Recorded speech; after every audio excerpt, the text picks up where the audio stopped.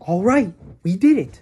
We figured out which present is which by weighing them. all we need to do is figure out what's in our present. So all we need now is is Oh, there's a clue on this letter, F. Fantastic find. You know what we need? Our handy dandy notebook. Right?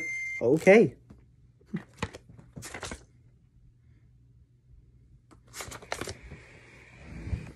So we draw a line up, then two lines across like this.